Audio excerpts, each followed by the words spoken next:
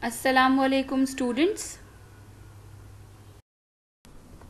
Today we will continue with our chapter that is adverbs, degree, frequency, negation and interrogative. This chapter is on page number 3 and this is part 2 of it. So let's get started.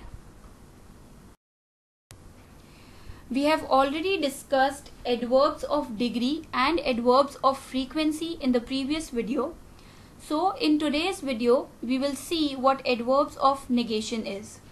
Adverbs of negation, it states that any word that is used to form the negative of a verb or any word that gives out the negative sense to a verb is known as adverbs of negation.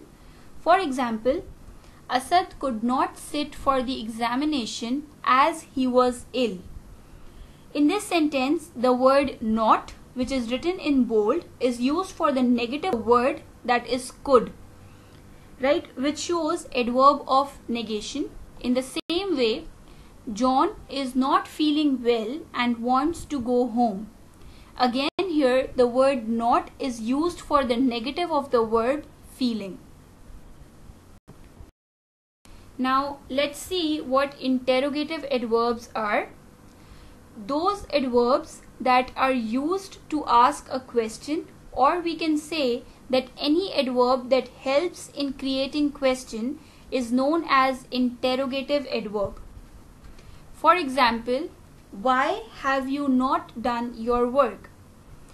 In this question, the word why is asking for a reason that considered as an adverb of cause or adverb of reason.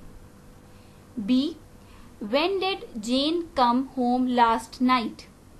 In the same way, the word when is referring to a time that is at what time. Thus, it can it can be considered as adverb of time. Right?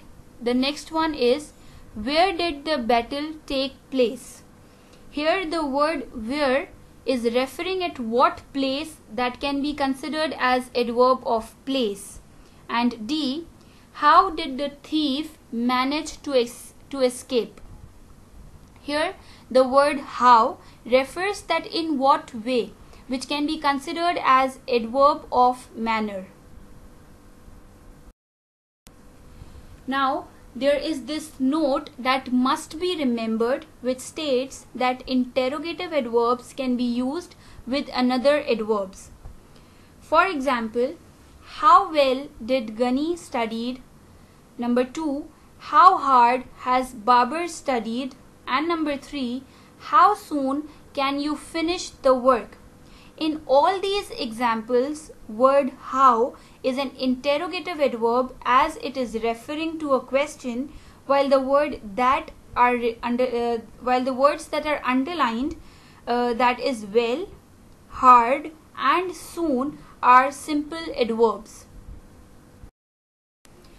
Now there is this note number 2 which states that how interrogative adverbs can be used with adjectives for example number 1 how tall is that building?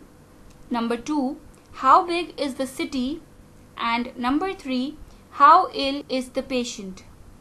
Similarly, in these sentences, the word how is referring to an interrogative adverb and the words that are written in bold are adjectives that are tall, big and ill. And this is the last note that is number 3 uh, which is showing that how interrogative adverbs can be used with much and many. And the examples are number 1 how much sugar have you put into the tea? And number 2 how many books have you read this month